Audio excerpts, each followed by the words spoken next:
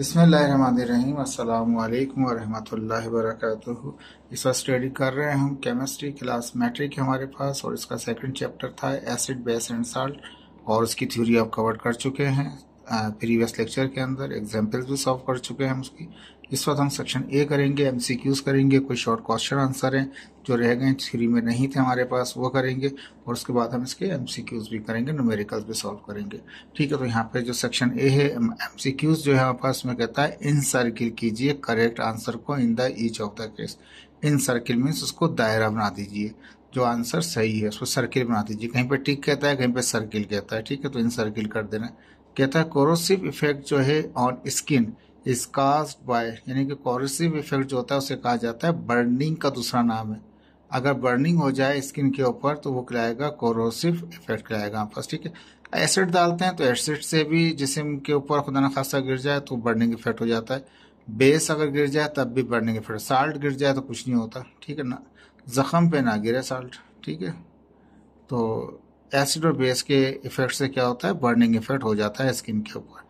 तो last answer जो है वो डी में लिखा है ए और बी यानी ए और बी दोनों ही की वजह से होता है। सिंगल एसिड से और सिंगल बेस से नहीं होता, दोनों ही की वजह से हो सकता है। तो राइट आंसर क्या होगा आपका? डी हो जाएगा कि ए एसिड और बेस की वजह से, दोनों की वजह से बर्निंग इफ़ेक्ट हो जाता है स्किन के ऊपर। अगर ये चीज़ें गिर जाएँ, खुदा न खास्ता किसी की स्किन पे। ठीक है तो ये कोरोसिव इफ़ेक्ट लाता है बर्निंग इफ़ेक्ट लाता है, याद रख लीजिएगा इसको। ठीक है, पहला का आंसर है डी हमारे पास। ठीक है, मैंने यहाँ पे क्या किया कुछ आंसर जो हैं यहाँ पे ऑलरेडी एम सी उसके लिख दिए पहले का डी है, ठीक है? ये फाइव यहाँ पर है सिक्स से लेकर टेन तक यहाँ पर है। दूसरे में कहता है प्रिजर्वेटिव जो है are use to preserve preservative उन्हें कहा जाता है जिसमें हम सेव किए करते हैं। ऐसा तरीका कार जिसमें सेव किया जाए किसी भी चीज़ को, उसको प्रिजर्वेटिव कहते हैं। ठीक है? P R E S E R V A T I V E preservative कहलाता है हमारे पास। एसिड को प्रिजर्व नहीं करते प्रिजर्व का मतलब है सेव करना। सेव करने का अमल करार कहलाता है प्रिजर्वेटिव कहते हैं। प्रिजर्व करेंगे, हम सेव करेंगे तो किस तरह सेव करके लॉन्ग टाइम तक चला सकते हैं? तो एसिड को ज़रूरत नहीं पड़ती बेस को भी ज़रूरत नहीं पड़ती हमारे पास। वाटर को भी ज़रूरत नहीं पड़ती, पानी भी सही रहता है अपनी जगह पे। लेकिन फ़ूड जो है वो खराब हो जाता है। तो क्या होता है? फ़ूड को हम इस काबिल बनाते हैं प्रिजर्व करते हैं। प्रिजर्व का मतलब है उसको सेव करना। देखें, जो टर्म आ रही है ना, अब आगे जाके यही टर्म इस्तेमाल करेंगे। प्रिजर्व का मतलब है सेव करना, और ऐसा तरीका कार जिसमें सेव किया जाए किसी चीज़ को उससे कहलाता है प्रिजर्वेटिव कहा जाता है, ठीक है? फ़ूड को प्रिजर्व करना, करते हैं प्रिजर्वेटिव प्रोसेस के अंदर। तो ये आंसर इसका जो होगा सी आ जाएगा आपका। ठीक है, वहाँ पे भी देख सकते हैं, दूसरे का आंसर सी ही रखा हुआ है हमने। ठीक है जी, इसके बाद क्वेश्चन नंबर थ्री आता है which of the following is not an Arrhenius theory. कहता है कि इनमें से कौन सी ऐसी जिसमें आरहेनियस थ्योरी नहीं है? आरहेनियस थ्योरी के लिए लाजमी था हमारे पास, एसिड और बेस हो हमारे पास। लेकिन आरहेनियस थ्योरी का कौन सा? आरहेनियस एसिड कह रहा है हमारे पास। क्या कह रहा है? आरहेनियस एसिड नहीं है। Which of the following is not an Arrhenius acid तो आरहेनियस थ्योरी के मुताबिक तो ये होता है कि एच होना ज़रूरी होता है, ठीक है? एसिड के लिए बेस के लिए ओ OH होना ज़रूरी होता है हमारे पास। लेकिन यहाँ पे एसिड की बात कर रहे हैं। एच सी एल एक एसिड है जो आर्हेनियस एसिड कहलाता है। एच नाइट्रिक एसिड, ये भी आरहेनियस एसिड कहलाता है। सल्फ्यूरिक एसिड भी क्या कहलाता है? आरहेनियस एसिड कहलाता है। कार्बन डाइऑक्साइड आर्यस एसिड नहीं कहलाता क्योंकि आरहेनियस एसिड के लिए एच और ओ एच आयन को प्रोड्यूस करना होता है। तो ये एसिड में ये एच आयन नहीं पैदा कर सकता। तो ये आपका आंसर है राइट। यानी कि ये जो कार्बन डाइऑक्साइड है, ये आरहेनियस एसिड नहीं होता। ठीक है जी? राइट आंसर क्या है इसका? तीसरे का बी। तीसरे का हमने बी रखा हुआ आंसर। ठीक है जी। अब आते हैं क्वेश्चन नंबर फोर की तरफ़। कहता है, ammonia, N H three, can be a base according to which?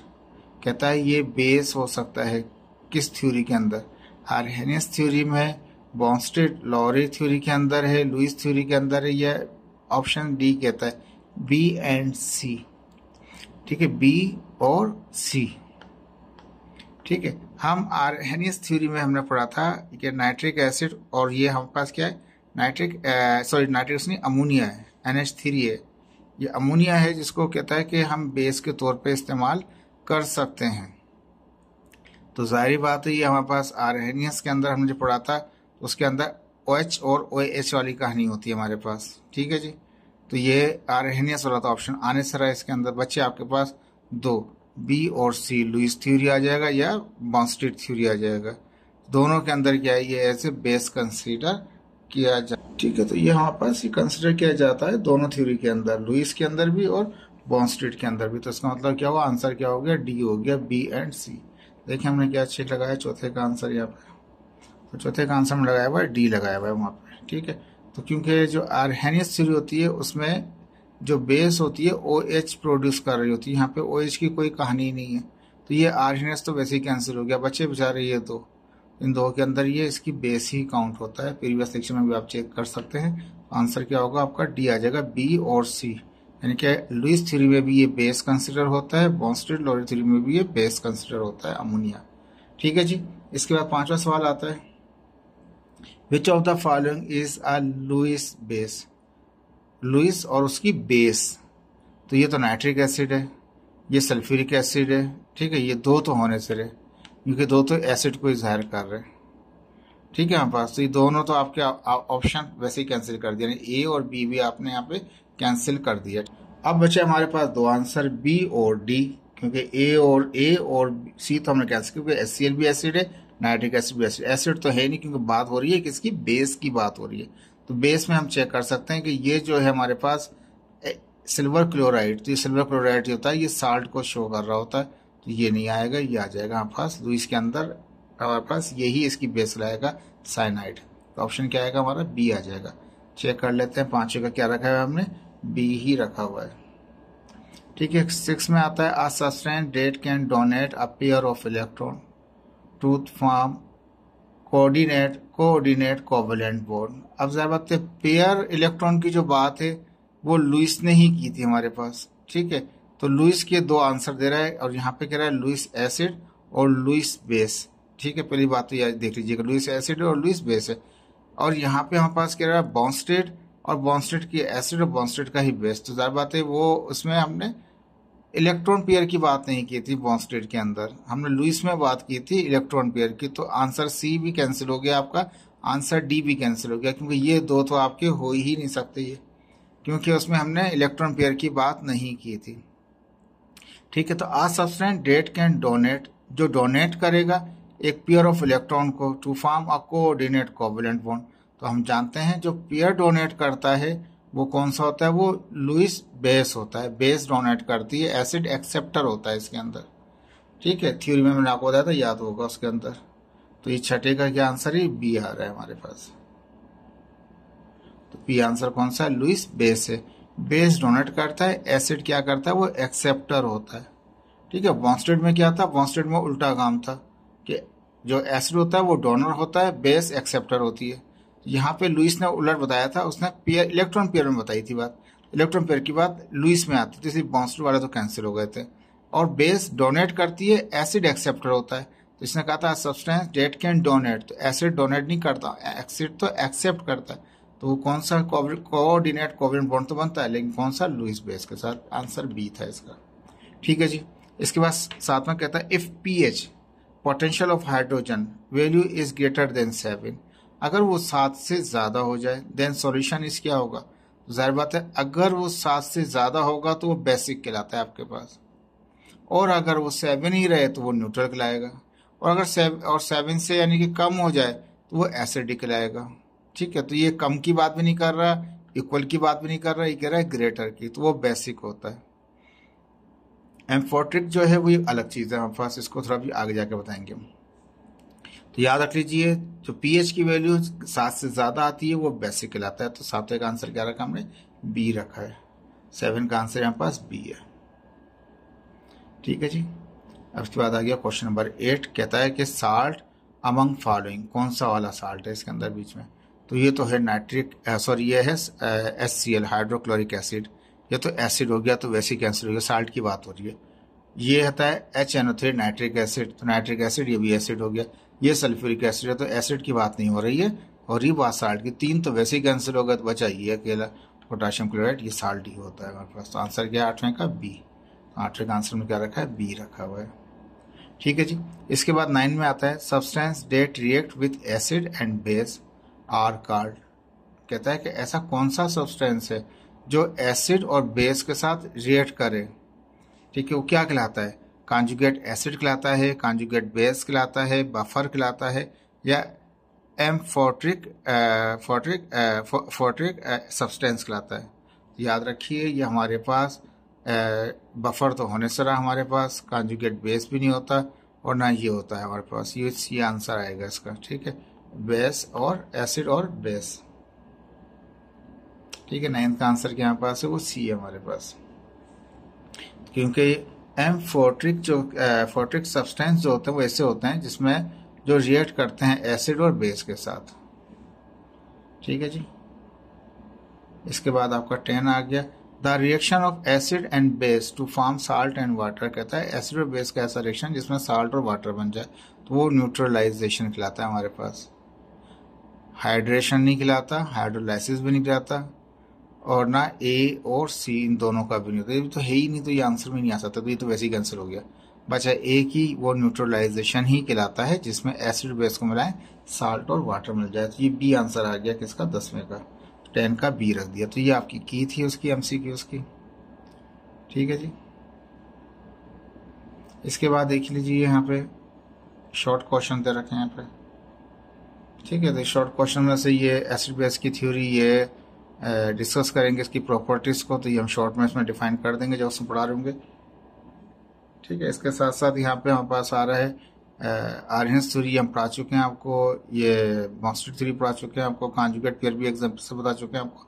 Question number five करेंगे, पहला भी करेंगे फाइव भी करेंगे हम यहाँ पे। उसके बाद हम यहाँ पे आयनाइजेशन ऑफ़ वाटर भी पढ़ चुके हैं आप लोग वहाँ पे पीएचडी पढ़ चुके हैं न्यूट्राइजेशन पढ़ चुके हैं इंडिकेटर और टाइट्रेशन ये पढ़ेंगे आप इसके अंदर। ठीक है तो यहाँ से फिर ये प्रॉब्लम भी कर लेंगे, लेकिन प्रॉब्लम के बाद फिर हमारे पास आएगा यहाँ पे न्यूमेरिकल सेक्शन ठीक है जी, अब हम चलते हैं यहाँ से। यहाँ पास शॉर्ट क्वेश्चन थे जो रह गए थे हमारे उसमें से। तो डिस्कस कीजिए प्रॉपर्टीज़ ऑफ़ एसिड और बेस की। एसिड और बेस की प्रॉपर्टीज़ क्या हैं? तो कहता है acid are sour in taste ये एसिड जो होते हैं टेस्ट में क्या होते हैं? ये खट्टे किस्म के होते हैं। जैसे कि सिरका वगैरह होता है, आपने देखा था, लेमन वगैरह होता है, ये टेस्ट में सौर होते हैं, ठीक है जी। Acid are corrosive corrosive in nature, यानी कि कोरोसिव नेचर है हमारे पास, वो बर्निंग वाली नेचर है, इसकी ये गिर जाएगा, खुदा ना खास्ता तो जल जाती है skin the P H value of the P H value always less than seven, हमेशा सेवन से कम जो पी एच वैल्यू होती है, वो एसिड की होती है। एसिड कंडक्ट इलेक्ट्रिक करंट, इसमें से बिजली गुजारे, बिजली गुजर जाती है। क्योंकि आयनाइज होता है ये acid turn blue litmus paper to red तो क्या करता है? ब्लू अगर डालेंगे लिटमस पेपर के दो होते हैं, हमारे पास लिटमस पेपर याद रख लीजिए। एक कलर ब्लू का होता है लिटमस पेपर एक होता है रेड का। तो यानी कि कहने साथ ये है कि लिटमस पेपर को जब भी डालेंगे हम तो वो क्या करेगा? ब्लू को चेंज कर देगा किसमें वो रेड कर देगा, जब भी एसिड में डिप करेंगे आप। Acid react with metal produce hydrogen gas जब भी एसिड को रिएक्ट कराएँगे मेटल के साथ क्या होगा? हाइड्रोजन गैस प्रोड्यूस हो जाएगी। ये इसकी छह प्रॉपर्टियाँ थी। इस तरह बेस की प्रॉपर्टी हमारे पास है यहाँ पे। कहता है base is bitter in taste वो खट्टे होते हैं, ये कड़वे होते हैं हमारे पास। Base are corrosive in nature वो भी कोरोसिव थे, वो भी गिर गया खुदा खासा जल जाएगा, यहाँ भी गिर जाएगा तो ये भी जल जाता है, हाथ वगैरह पीएच वैल्यू उसकी कम होती है तो इनकी पीएच वैल्यू होती है मोर देन सेवन होती है। ठीक है, इनकी क्या करता है? ये बेस टर्न कर देता है रेड लिटमस पेपर को, किसमें? ब्लू में उल्टा हो गया ना? वो ब्लू को करता है रेड।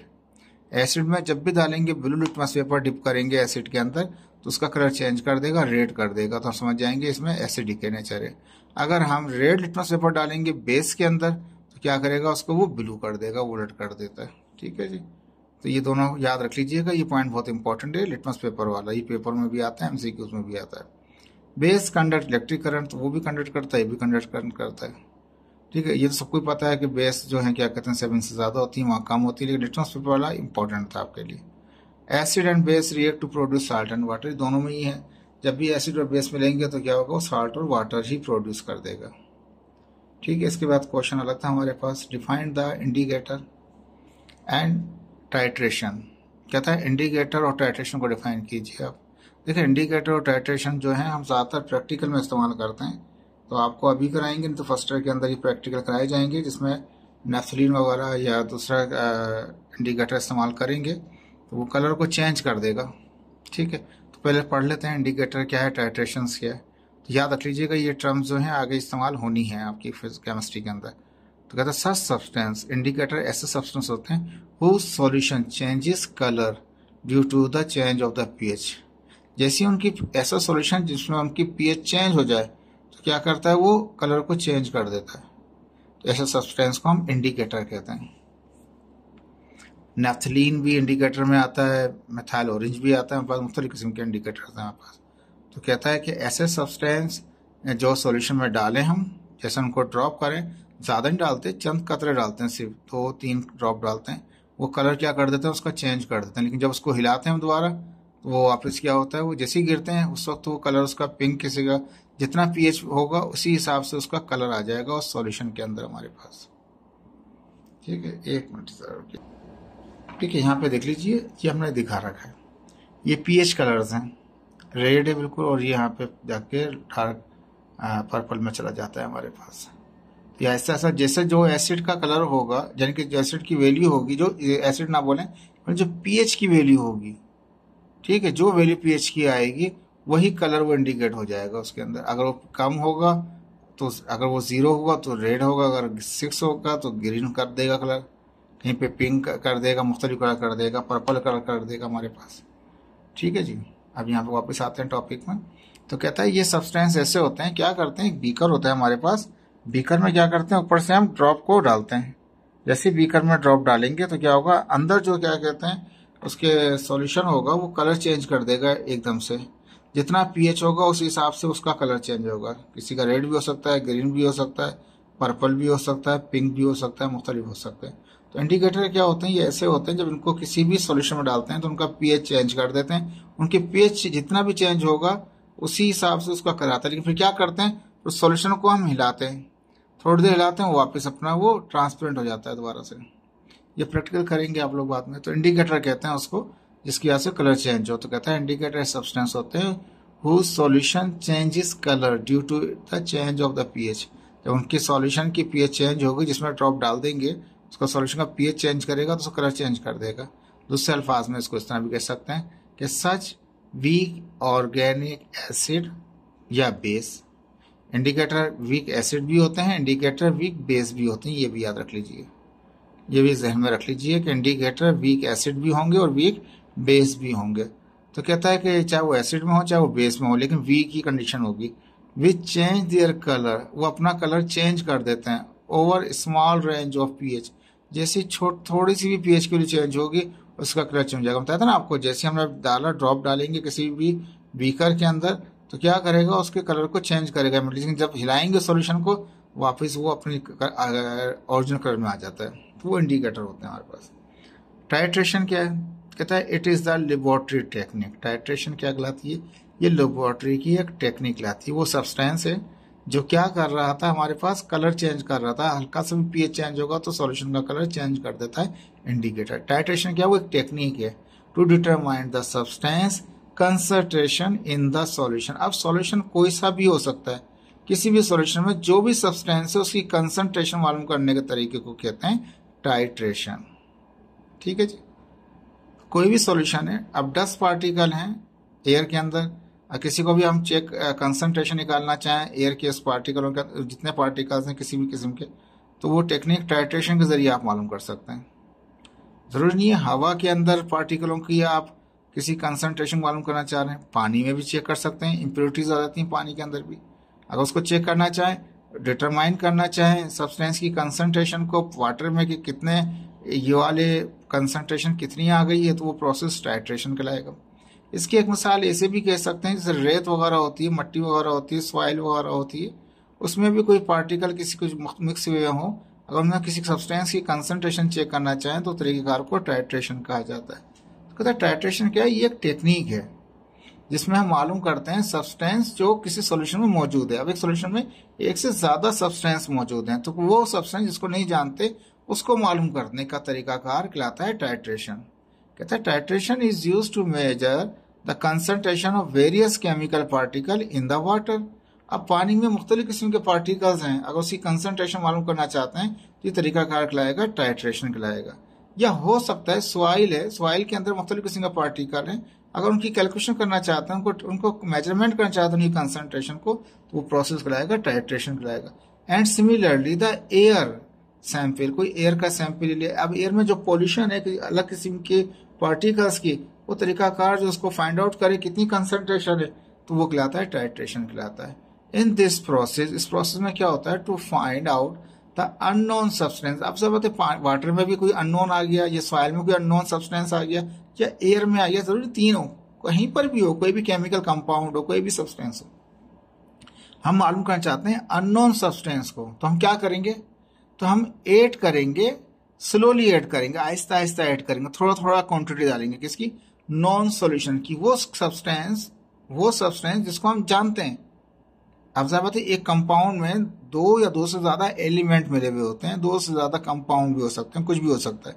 अब जिस कंसंट्रेशन को हम जानते हैं और एक कंसंट्रेशन ऐसी जिसको हम नहीं जानते हैं, जो कंसंट्रेशन हम जानते हैं, उसको हम स्लोली आहिस्ता आहिस्ता ऐड करेंगे उसके अंदर। To react with unknown substance जो नॉन सब्सटेंस है को एड करेंगे उस अननोन सब्सटेंस में जो उसमें मौजूद है इन द फिक्स रेशो एक रेशो के साथ to achieve the neutralization reaction ऐसा जिसमें रिएक्शन क्या हो न्यूट्रलाइज हो जाए which is often indicate by colour change जिसको हम पहचान कर सकते हैं कलर की चेंजिंग से। ठीक है जी? ये था टाइट्रेशन वो था इंडिकेटर इंडिकेटर में हम क्या करते हैं? कि हम थोड़ा सा भी अगर सब्सटेंस डालते हैं और सॉल्यूशन का अगर पीएच चेंज होगा तो उसका कलर चेंज कर देगा उस सॉल्यूशन का। जितना पीएच होगा, इसी हिसाब से उसका कलर होगा। ये पीएच कलर मैंने आपको ऑलरेडी अभी दिखा चुका था। जितनी पीएच की वैल्यू हो जाएगी उस सोल्यूशन की, वही कलर दिखाएगा। अगर वैल्यू फोर्टीन होगी तो पर्पल दिखा देगा। अगर ज़ीरो होगी तो रेड दिखा देगा। फोर हो गई तो येलो दिखा देगा हमारे पास। थ्री हो गई तो ऑरेंज दिखा देगा। अगर हमारे पास ये ग्रीन भी दिखा सकता है, मुख्तलिफ़ किस्म का कलर दिखाएगा, जो कलर उस सोल्यूशन का होगा। ये कहलाता है हमारे पास तरीकाकार इंडिकेटर कहलाता है जिसको हम डाल के कलर चेंज करके पीएच चेक कर रहे होते हैं उसकी। तो इंडिकेटर क्या करता है? कलर चेंज कर देता है, हल्का सा स्मॉल चेंज होने से पीएच के अंदर टाइट्रेशन क्या है? कोई भी अननोन सब्सटेंस है, चाहे एयर में हो, चाहे सॉइल में हो, चाहे वाटर में हो, कहीं पे भी हो, उसको मालूम करने का तरीका का लेबोरेटरी टेक्निक के ज़रिए वो टाइट्रेशन कहलाता है। और जो सब्सटेंस हमें मालूम ही नहीं है कि वाट, पानी में या हवा में या सॉल्यूशन में या कंपाउंड में या सॉल्यूशन के अंदर कहीं पर भी कोई सब्सटेंस हमें मालूम ही नहीं है। हम क्या करेंगे? वो जो मालूम नहीं है, वो तो डालेंगे नहीं।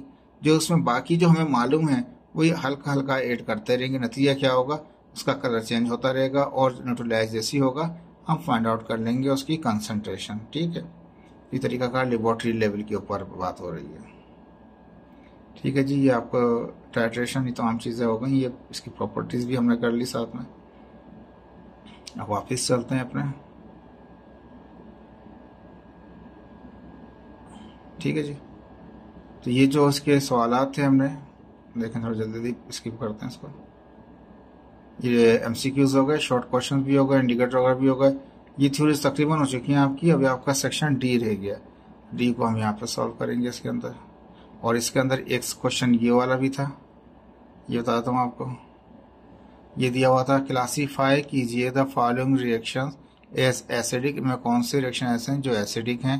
या ऐसे कौन से रिएक्शन हैं जो बेसिक हैं, या ऐसे कौन से रिएक्शन हैं जो न्यूट्रल हैं? अब एसिडिक वो होते हैं जो सेवन से कम हो जाता है, जिसका पीएच वैल्यू क्या आ जाए सेवन से कम आ जाए तो वो कहलाते हैं एसिडिक इनमें से वो जिनकी पीएच सेवन आ जाएगी, या सेवन सॉरी सेवन सेवन से कम आ जाएगी, वो एसिडिक कहलाएँगे जिनकी सेवन आ जाएगी, वो न्यूट्रल कहलाएँगे और जिनकी सेवन से ज़्यादा आ जाएगी, वो बेसिक कहलाएँगे ये तकरीबन आपके पास चार पार्ट हैं इसके, ठीक है? ये मैंने अलग से सॉल्व कर रखे हैं। Classify the following solution as acidic basic और न्यूट्रल पहला सॉल्यूशन क्या है? A solution that has hydrogen ion और ये ब्रैकेट को कहते हैं कंसंट्रेशन जो स्क्वायर ब्रैकेट होता है, इसको हम कंसंट्रेशन कहते हैं। हाइड्रोजन और ये पॉजिटिव ऐसे कह रहे हैं हाइड्रोजन आइन कंसंट्रेशन इतने से जो, उसको हम हाइड्रोजन आइन कंसंट्रेशन पढ़ेंगे। ये कितना है? One into tens power minus four mole per cubic decimetre ये इसका यूनिट है, ये इसकी वैल्यू दे रखी है। बताइए, ये सॉल्यूशन जो है इसमें हाइड्रोजन आयन की कंसंट्रेशन इतनी है तो इसका ये एसिडिक है बेसिक है या साल्ट है? हमने क्या किया हाइड्रोजन कंसंट्रेशन डेटा में ऐसे लिखा और पीएच मालूम करेंगे। जो पीएच अगर सेवन से कम आ गई तो वो एसिडिक सेवन आ गई तो न्यूट्रल सेवन से ज़्यादा आ गई तो वो बेसिक हमने क्या किया फार्मूला पीएच मालूम करना क्या pH is equal to minus दो hydrogen ion concentration hydrogen ion concentration आपको दे रखी वो यहाँ रख दिया। सिंपल सा हल ये है कि ये जब भी लोग लेते हैं इसका तो ये माइनस जो है ना, ये माइनस फोर ये नीचे आ जाता है मल्टीप्लाई करने के लिए। तो माइनस फोर जब मल्टीप्लाई करेगा माइनस को तो माइनस माइनस प्लस हो जाएगा फोर अपनी जगह। और लोग जो ये ये वन जो होगा किसी पावर ज़ीरो कर दें वन हो जाएगा। लोग वन जो होता है वन ही होता है। तो यानी कि ये कुछ भी नहीं रहेगा। इसका मतलब ये है कि इसकी जो पावर है ना, जब भी ये लोग सॉल्व करना, अगर ये एमसीक्यूज में आपको मिला हुआ है तो एक लम्हे में सॉल्व कर सकते हैं आप इसको। अगर इस तरह से मिला हुआ है कि इसका पीएच हाइड्रोजन कंसंट्रेशन दे रहा है, इसका पीएच मालूम कर रहे हैं तो इसका आंसर फोर ही आएगा पीएच कैसे आएगा कि माइनस फोर जो है, ये यहाँ से पावर है नीचे आकर मल्टीप्लाई करेगा जो माइनस है। तो माइनस माइनस क्या हो जाएँगे? ये प्लस फोर हो जाएगा। और ये वन और किसी की, ये फोर चला गया तो इसकी पावर क्या है वो? हमारे पास ज़ीरो ही कंसिडर वन ही कह लीजिए ज़ीरो कंसिडर कर लीजिए। जब भी लोग निकालेंगे तो लोग वन निकल आएगा हमारे पास। तो ये आंसर क्या जाएगा? जब इसको सॉल्व करेंगे आप, यानी कि माइनस बाहर रखें और लोग को इसको सॉल्व करें कैलकुलेटर से, तब भी आपको फोर ही मिलेगा। मैंने शॉर्ट टेक्निक बता दी, जब भी ऐसा लगा हुआ हो तो ये फोर ही आएगा फोर माइनस फोर मल्टीप्लाई करेगा इससे तो माइनस फोर आ जाएगा, बाकी वन हो जाता है हमारे पास। पीएच आ गई फोर फोर का मतलब क्या है? ये एसिडिक है सेवन से कम है। देखिए दूसरा वाला पार्ट इसका। आज सॉल्यूशन जिसमें हाइड्रोजन कंसंट्रेशन कितना है? माइनस इलेवन है। तो ज़्यादा माइनस इलेवन और फिर वो माइनस में होगा तो मैं प्लस इलेवन हो जाएगा। ठीक है तो हमने क्या किया? ये हाइड्रोजन आयन कंसंट्रेशन है तो हाइड्रोजन कंसंट्रेशन लिख दिया। हाइड्रोजन आयन कंसंट्रेशन सिंपल जो भी one tens five minus eleven mole per cubic pH मालूम करेंगे ताकि अंदाज़ा हो जाए कि एसिडिक है या बेसिक है। पीएच का फॉर्मूला क्या? माइनस लोग हाइड्रोजन कंसंट्रेशन अभी माइनस जो इलेवन है, ये यहाँ मल्टी पावर है, यहाँ के मल्टीप्लाई करेगा तो माइनस माइनस हो जाएगा प्लस हो जाएगा इलेवन वन से इलेवन और बाकी लोग वन और टेन जो गए, सारा ये वन बन जाता है। ये याद रख लीजिएगा। सबसे आसान ये है कि इसका पीएच हाइड्रोजन आयन है तो पीएच निकालना बहुत ही आसान है। एक लम्हे में निकल जाता है, क्योंकि हाइड्रोजन आयन का ही पावर है। पोटेंशियल ऑफ़ हाइड्रोजन है तो पीएच पोटेंशियल हाइड्रोजन होता है। हाइड्रोजन एंड कंसंट्रेशन है तो ये जो पावर है ना, इसको माइनस है तो ये प्लस में आएगा। अगर प्लस है तो वो माइनस में आएगा, याद रख लीजिए। एक लम्हे में आप इसको सॉल्व कर सकते हैं। इतना लंबा सॉल्व करने की ज़रूरत नहीं है आपको। तो ये आपके एंट्री टेस्ट में का सवाल है आपका ये। सॉल्यूशन इस क्या है वो? सेवन से ज़्यादा हो गया तो ये बेसिक है। तो उसमें सॉल्व करने के लिए बोलेगा, ऐसे दे देगा, बोलेगा, बताएँ एसिडिक है बेसिक है या साल्ट है। अगर हाइड्रोजन आयन है तो दो मिनट में पच जाएगा आपको कि पावर मल्टीप्लाई करेंगे। प्लस है माइनस है तो प्लस में आ जाएगा। अगर प्लस है तो माइनस में आएगा ये। ठीक है, अब यहाँ पे हाइड्रोजन आयन नहीं दे रहा। अब कह रहा सॉल्यूशन है, जिसमें ओ एच आइन है। अब ओ एच आयन का मतलब ये है कि ओ एच आयन से पहले निकालना पड़ेगा। आपको ओ पी ओ एच निकालना पड़ेगा। जब पी ओ एच निकल जाएगा, फिर निकलेगा पी एच जब तक पी एच नहीं होगा, आप डिसाइड नहीं कर सकते कि एसिडिक है या बेसिक है। एसिडिक बेसिक को फाइंड आउट करने के लिए पी एच का मालूम होना बहुत ज़रूरी है। ये दिएगा ओ एच आइन कंसनट्रेशन दे रहा है वन टेंस माइनस नाइन तो O H ion one in transfer minus nine cubic decimetre तो जिस तरह वहाँ पे था सेम यहाँ पर भी यही है। इसका पी ओ एच कैसा आएगा?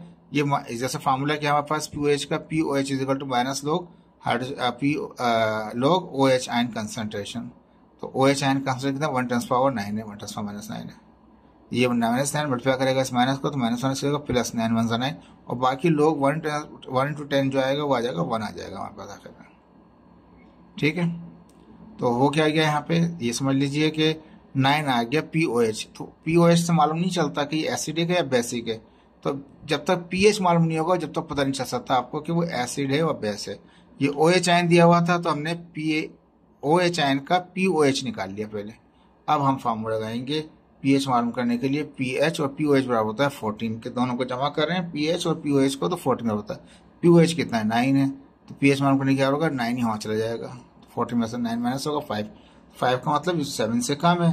सेवन से कम है तो क्या ये एसिडिक है हमारे पास? इसी तरह से एक सोल्यूशन फिर दोबारा ओ एच आयन दे दिया इस तरह से। तो हम O H ion concentration is equal to one transfer minus nine mole पर क्यूब मीटर पहले पी ओ एच मालूम करेंगे, फिर पी एच मालूम होगा। फिर जब पी एच मालूम होगा तो पता चलेगा कि एसिडिक है या बेसिक है, ठीक है? पी ओ एच आपको पता है, वैसी जैसे ओ एच में होता है। पी ओ एच बराबर होता है माइनस लोग और O H ion concentration O H ion concentration कितना? वन ट्रांसफ़र माइनस नाइन तो माइनस थ्री जो ये नीचे आ जाएगा माइनस माइनस का प्लस थ्री हो गया। बाकी वन इंटू टेन लोग लेंगे तो वन आ जाएगा वो। तो जब भी माइनस है तो ये भी माइनस है तो माइनस माइनस क्या होगा? प्लस थ्री आ गया। पी ओ एच थ्री आ गया। अब हम पी एच मालूम करना है पी एच बराबर P H plus P O H बराबर होता है। किसके? दोनों को जमा कर हैं तो फोर्टीन बराबर आता है। तो पी ओ एच कितना निकाला? थ्री थ्री वहाँ चला जाएगा। तो फोर्टीन में से थ्री गया तो क्या बचा? इलेवन इलेवन का मतलब सेवन से सात है। तो ये क्या है? बेसिक है आपके पास। ठीक है जी। अभी आपके पास बुक के न्यूमेरिकल्स आ गए। Calculate P H of five molarity और सॉल्यूशन ऑफ़ सोडियम हाइड्रोक्साइड कहता है पी एच मालूम करना है आपको। अब यहाँ तो पी एच कैसे निकालेगा? ये तो ओ OH है। तो इसका मतलब ओ OH से पहले पी एच निकालेंगे आप। जब पी एच निकलेगा तो वो चलेगा आपको कि वो यानी कि ये तो खैर मालूम नहीं करना है एसिडिक बेस का, लेकिन पी एच निकालना है फार्मूले में से आपको। तो ये जो सोडियम हाइड्रोक्साइड है, इसको मैंने दिखा दिया। बुक में सवाल सिर्फ़ एक लाइन का यहाँ तक था। मैंने सोडियम हाइड्रोक्साइड को दिखा दिया कि ये आयनाइज कैसे होगा? बेस है ना? ओ OH क्या है? बेस है। सोडियम हाइड्रोक्साइड एक बेस है। जब इसको पानी में डालेंगे तो हाइड्रोजन अलग हो जाएगा ओ एच अलग हो जाएगा। तो ये कहता है कि एन की एन की जो कंसनट्रेशन है, कितनी है वो? फाइव मोलिटी है तो फाइव मोलिटी है तो वो भी ओ OH की भी कितनी होगी? फाइव ही होगी। जितनी बेस की है, इतनी ही ओ OH की होगी हमारे पास। ठीक है जी? ये पहले भी एग्ज़ाम्पल में कह चुका था आपको। पीएच मालूम करना है आपको। तो ये जो फाइव मोलिटी का है, ये हाइड्रोजन हाइड्रोक्साइल आयन की मोलिटी कंसनट्रेशन है। आयनी कंसनट्रेशन है तो ओ एच आयन कंसनट्रेशन कितना? फाइव मोलिटी ठीक है, जो फाइव सॉल्यूशन का है ना एनओएच का तो वो ओ OH का भी इतना ही होगा। अब एक फॉर्मूला होता है, हमारे पास आयनी कांस्टेंट जो होता है के डब्ल्यू जो होता है, वो one tens power minus fourteen ही पढ़ा था एग्ज़ाम्पल में भी किया था हमने। के डब्ल्यू होता है किसके? आयनी कंसनट्रेशन कितनी होती है वो? One tens power minus fourteen fix है कॉन्स्टेंट है हमारे पास। ठीक है जी? हमें मालूम करना है पीएच हम जानते हैं जो आयनी कंसनट्रेशन कांस्टेंट जो होता है के डब्ल्यू बराबर होता है, वो हाइड्रोजन आयन कंसनट्रेशन और ओ एच आयन कंसनट्रेशन के बराबर होता है। ये तो फिक्स होता है तो इसकी वैल्यू यहाँ पे हमने फिक्स कर दी one test power minus fourteen hydrogen ion पता नहीं है आपको ओ एच का पता है कितना फाइव है हमारे पास फाइव मल्टीप्लाई कर रहा है फाइव जाके वहाँ डिवाइड कर देगा उसको। इसको डिवाइड करें तो कितना आता है? Zero point two tens power fourteen mole पर क्यूबिक डेसीमीटर यूनिट चैन लिख दें मैंने नहीं लिखा, आप लिख दें मोल पर क्यूबिक डेसीमीटर तो हाइड्रोजन आयन की कंसंट्रेशन निकल है, क्योंकि ओ एच आपके पास फाइव था तो फाइव मल्टीप्लाई कर तो डिवाइड किया। और सॉल्यूशन जो निकला पॉइंट टू आ गया। जब आपके पास हाइड्रोजन आयन कंसंट्रेशन आ गया पीएच निकालना आसान है। पीएच का फॉर्मूला क्या pH is equal to minus log hydrogen ion concentration तो अब क्या करेंगे? ये हमारे पास है माइनस लोग अपनी जगह। ये कितना है? ज़ीरो पॉइंट टू है। टेंस पावर फोर्टीन ऐसा नहीं कि इसको यहाँ उतार दें, उसको बंद कर दें। ऐसा नहीं कीजिएगा। क्योंकि यहाँ पे वन नहीं है। यहाँ पे पॉइंट टू है। अब इसको लोग से ही सॉल्व करेंगे। ये पूरा लोग निकालेंगे आप तो कितना आ जाएगा? वो माइनस में आएगा और माइनस माइनस क्या जाएगा? प्लस हो जाएगा थर्टीन पॉइंट थर्टी आ जाएगा पीएच आंसर इसका। ठीक है जी, इसके बाद सेकंड क्वेश्चन है, कहता है a solution of sulphuric acid has pH of 1.05 sulphuric acid का जो पीएच है कितना है? 1.05 है। कैलकुलेट इट्स पीओएच कहता है, इसका पीओएच बताइए क्या होगा और इसका हाइड्रोजन आयन कंसंट्रेशन क्या होगा? मैंने इसको ई बुक में से तक था मैंने इसको सल्फ्यूरिक एसिड को आयनी कंसंट्रेशन दिखा दिया तो एच टू हो गया प्लस आयन सल्फेट माइनस में हो गया एस ओ फोर हो गया। ठीक है, समझाने के लिए सिर्फ़ ज़रूरत नहीं थी, वैसे भी कर सकते थे आप। तो क्या है, आपको पीएच दिया हुआ है। एक सॉल्यूशन है सल्फ्यूरिक एसिड का, एक बीकर में सल्फ्यूरिक एसिड है, उसका पीएच कितना है? 1.05 है तो 1.05 है। अब ज़ाहिर बात है, उसको डाला है किसके अंदर? वाटर में डाला होगा, तभी तो वो ओ एच आइन भी आया होगा। ठीक है जी तो पीएच इसका दे रहा है 1.05 तो पीएच कितना? 1.05 क्यूबिक डेसीमीटर भी कह सकते हैं उसको। बुक ने नहीं दिया हमने भी नहीं लिखा इसी वजह से। ठीक है जी? पीओएच मालूम करना है आपके पास, हाइड्रोजन एंड कंसर्न मालूम करना है आपको, ठीक है जी? अब आपको पीएच दे रहा था, वहाँ पर सिंपल फॉर्मूला है, पीएच प्लस पीओएच बराबर होता है फोर्टीन के। ठीक है, पीएच कितना? 1.05 है, पीओएच मालूम करना है आपको, एच यहीं पर ही। वन पॉइंट ज़ीरो फाइव वहाँ चला जाएगा। तो यहाँ प्लस का हो जाएगा, माइनस का हो जाएगा। फोर्टीन में से माइनस कर दिया हमने 1.05 12.95 आ गया हमारे पास पी ओ एच आ गया हमारे पास। ठीक है जी? अब पी ओ एच तो निकल आया। हमें चाहिए हाइड्रोजन आयन कंसंट्रेशन तो हम निकाल सकते हैं कि पी एच बराबर होता है minus log hydrogen ion concentration pH कितना निकला हुआ, दिया हुआ था उसने वो? वो दे रखा था हमें 1.05 तो पी एच की जगह 1.05 लिखा। माइनस लोग हाइड्रोजन कंसनट्रेशन अब हमने पहले भी प्रैक्टिस की थी इस चीज़ की कि ये जो माइनस लोग है ये वहाँ जाएगा तो एंटी लोग हो जाएगा। जब एंटी लोग हो जाएगा तो क्या करेगा वहाँ पे जाके कि ये यहाँ पे लोग खत्म हो जाएगा, वो टू द बेस बन जाएगा। एंटी लोग किस तरह हो जाएगा? वो बेस टेन में आ जाएगा। और वहाँ जो कुछ भी है ना, वो पावर बन जाएगा। यहाँ माइनस था तो इसकी वजह से उसकी पावर भी क्या जाएगी? वो माइनस में आ जाएगी। अगर ये प्लस होता तो उसकी पावर क्या रहती? प्लस रहती। तो ये माइनस उसकी वजह से? इसकी वजह से। लेकिन वहाँ जो कुछ भी था, वो पावर बन जाएगा, लेकिन टू द बेस उसकी बेस क्या होगी? टेन होगी। सिंपल सा है, ये आसान सा तरीका कार है। जब भी एंट, माइनस लोग को, एंटी लोग बनाएँगे तो वो बेस टेन में कन्वर्ट हो जाएगा और जो कुछ भी था वो पावर बन जाएगा। ये माइनस था तो उसके लिए माइनस आ गया। ठीक है, अब टेन की पावर सॉल्व करें तो zero point zero eight nine one two आ जाएगा हमारे पास। जब लोग टेन, बेस टेन का कॉमन लोग नहीं निकालेंगे, यानी कॉमन लोग निकालेंगे बेस टेन वाला तो ये करके निकालें माइनस में तो ये आ जाएगा। हम और छोटी वैल्यू है तो ज़ीरो एट दो डिजिट बाद लेके आए तो एट पॉइंट नाइन वन पे लेके आ जाए। क्या होगा? एक और दो डिजिट गए थे तो माइनस टू हो गया तो हाइड्रोजन कंसनट्रेशन कितनी हो गई? Eight point nine one tens power minus two cubic decimetre पर मोल मोल पर क्यूबिक डेसीमीटर सॉरी मोल पर क्यूबिक डेसीमीटर का यूनिट हो जाएगा। बुक में दिया हुआ नहीं था, इसलिए हमने भी नहीं लिखा उसमें। तीसरा कहता है कि hydrogen ion concentration of a solution is one tens power minus eight mole पर क्यूबिक डेसीमीटर आयनिक कंसंट्रेशन का यूनिट यही होता है मोल पर क्यूबिक डेसीमीटर होता है। नहीं दिया हुआ था, इसलिए हमने नहीं लिखा, लेकिन लिख लिया करें आप भी। हाइड्रोजन कंसंट्रेशन कितना, वो इतना दे रहा है हमारे पास। तो एच आइन कंसंट्रेशन हाइड्रोजन आइन इसको एब्रेट करते हैं कंसंट्रेशन हाइड्रोजन आइन कंसंट्रेशन कितना है वहाँ पर? हाइड्रोजन वन टेंस पर माइनस एट है। किसका? हाइड्रोजन आइन का था ना, लिखा हुआ था। हाइड्रोजन आइन का कंसंट्रेशन इतना है। ठीक है। What is the P H P H मालूम करना पी एच मालूम करना आसान form minus log hydrogen concentration hydrogen कितना? वन टेंस पावर एट इससे वन वाला तो बेस बहुत आसानी से जाता है। माइनस माइनस जाएगा प्लस जाएगा। एट वन जेड बाकी वन हो जाएगा। एट इसका आंसर है। सो सिंपल मुश्किल नहीं था। देखें, इसकी प्रैक्टिस कीजिएगा, ये चैप्टर आपका पूरा हो गया इसको एक्सरसाइज को अच्छी तरह से सॉल्व कीजिएगा और इसके बाद हम फिजिक्स पर जाएँगे। ओके जी, अल्लाह हाफिज़।